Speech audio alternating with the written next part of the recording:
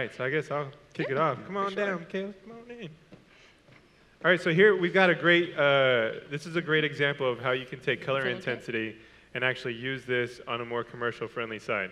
All right, if any of you were here yesterday during our color presentation or have been to the booth, you've heard a little bit of the conversation that we've had about Michaela.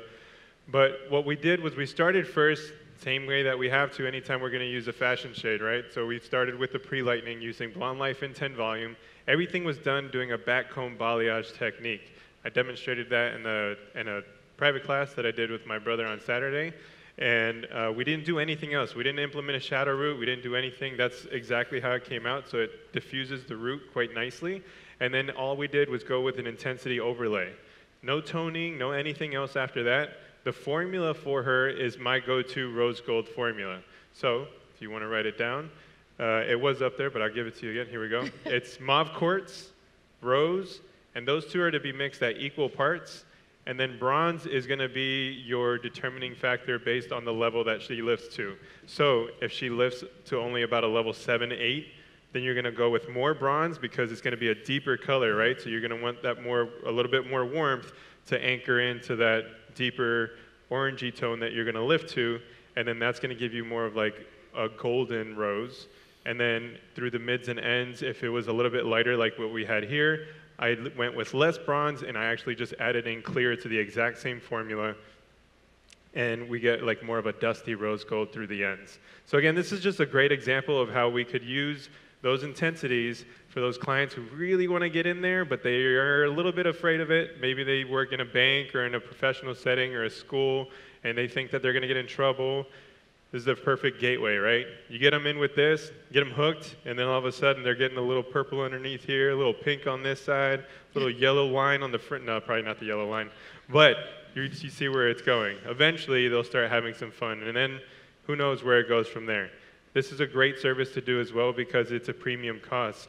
A lot of people think that, oh, it's just quick and easy to do the intensities. They don't process very long, but what they don't factor in the first half, right? That pre-lightning, and then you're, you're, you're custom formulating, and then you're, you're doing a color melt on top of that. So here we're always doing a double process, which is driving our ticket cost up, and you're custom formulating, again, driving that ticket cost up because it's not just squeezing it out of a tube. You're doing something that's unique, that's going to be custom to you, that they're not going to be able to get somewhere else. So something like this, I charge quite a bit, and the clients just keep on coming for it because, again, they can't go anywhere else to get it done, right? So this is our example of the intensity version of a soft red for you guys to see. Thanks, Michaela.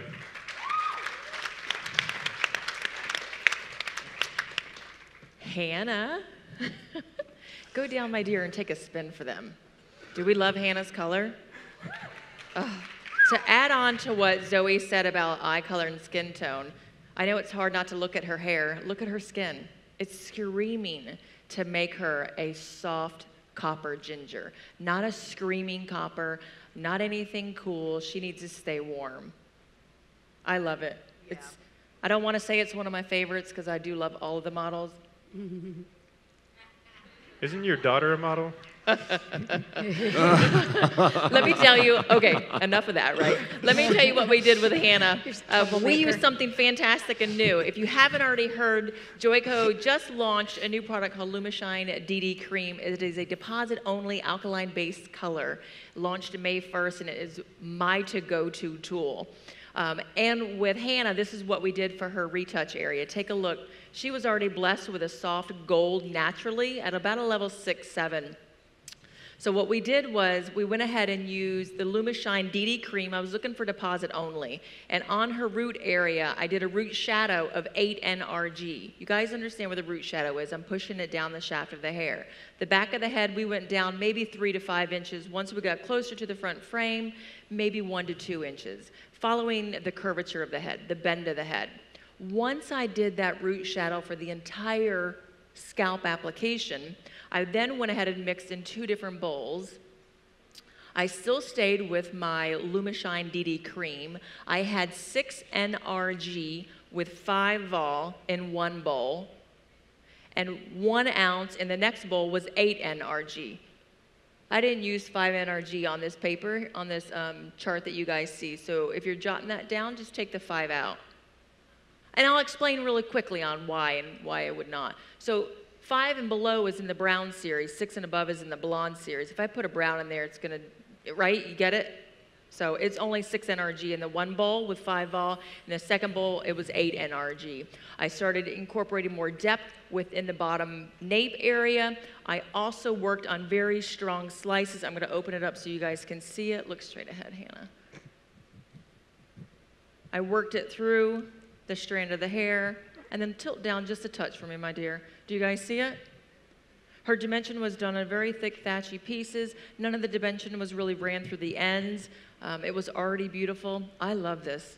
Uh, I would say maybe about 25% of her hair, we did a little bit of blonde life and 10 vol just to create a little bit of lightness. We moved it about two levels, keeping some warmth in there. I also did a little bit of an intensity. Hey. Yeah. we incorporated some peach right around Hannah's front frame just to give it a little character, right? A little fun pop. Could we add a stronger piece if we wanted to? Absolutely. Find out what personality your client has and incorporate that intensity into your overall look. Once everything was processed, we glazed the entire head with 10NC Lumishine liquid. I wanted to just put a sheer gloss over the entire canvas of the hair. Think about what I did, guys. I only reached for a product that was going to deposit, not create lift. And I reached for two different tools the new Luma Lumishine DD cream is very solid but reflective, so I used that for her root shadow and her dimension. Then I glossed the entire canvas with the Lumishine liquid. Why? For the shine. Um, it, it's kind of it's tone, but you can see through it. I'm not going to erase everything that I created. Do you guys love it? Yeah. I love it. It's beautiful. Thank you. Thank you. Thank you, Hannah.